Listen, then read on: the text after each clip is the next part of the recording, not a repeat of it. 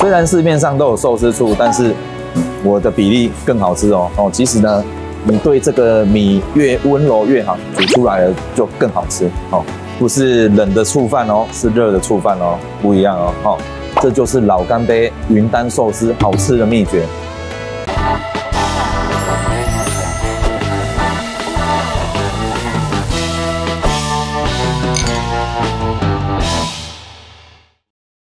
Hello，大家好，我是伟忠，今天要教一道老干杯的名物料理，也就是云丹寿司。怎么做出好吃的寿司醋饭呢？然后最重要的就是米嘛。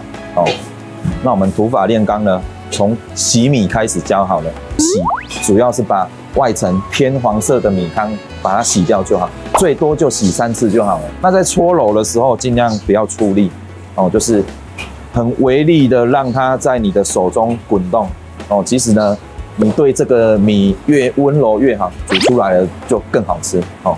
然后洗完泡水四十分钟，然后在泡的过程，我们尽量让你的容器有一个，例如说保鲜膜，还是说有盖子把它盖起来，避免过程啊有有蚊虫啊，还是有什么灰尘飘进去哦哦。泡过四十分钟的水，它米都吸水了，所以不是一比一哦，要一的米，然后零点九的水，一比零点九哦，一比零点九去煮，然后就按开锅按钮，然后就正常煮这样子。虽然市面上都有寿司醋，但是我的比例更好吃哦。那盐巴就是十八，糖五十，白醋就是两百克，这三个把它搅在一起，让它盐巴跟糖融化融化，常温融化哦，不要加了，常温融化就可以了。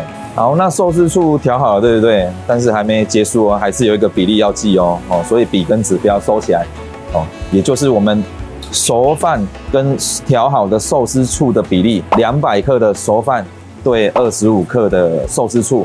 哦，然后你可能会看到，在拌寿司醋的时候啊，在传统的日本料理会用木桶，家里不会有木桶啊，那也不用担心，其实在电子锅拌就可以了。在拌的重点就是呢，一定要是冒烟的状态，不能说凉掉了再来拌，凉掉了它就不会有毛细孔。然后趁冒烟的时候，就是把寿司醋倒进去，然后搅拌搅拌，然后寿司醋都会吸进去，凉了就完全吸进去。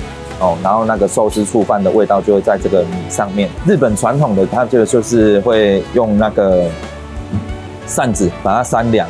然后其实在家里就是，因为我们做的量不会太大，就是放在一个大的容器，然后不要让它堆叠的太高，就是平坦的摊开，然后让它自然冷却。为了不要让这个饭呢，哦冷掉粘在盘子上，我们就把它包上保鲜膜。寿司醋饭放凉了，哦不是就这样直接捏寿司哦。那我们是把它移回电锅保温，然后出餐的时候直接用热的饭出给客人，这就是老干杯云丹寿司好吃的秘诀，不是冷的醋饭哦，是热的醋饭哦，不一样哦，好。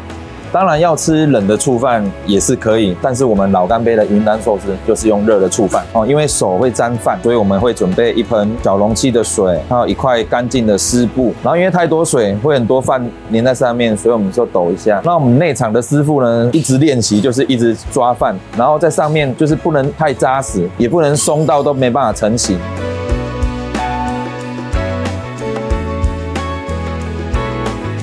那我们来做个总结，今天的寿司醋饭哦，就是一开始的洗米啊、泡米，然后煮饭，然后再拌饭哦，还有寿司醋饭的黄金比例一定要记起来这个哦。